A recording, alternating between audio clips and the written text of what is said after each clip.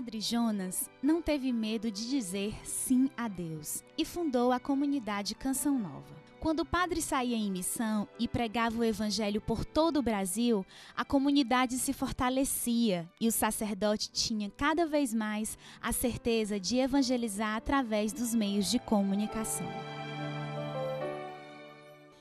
Não fui eu que tracei os planos, não. De repente, Deus começou a mostrar através de fatos.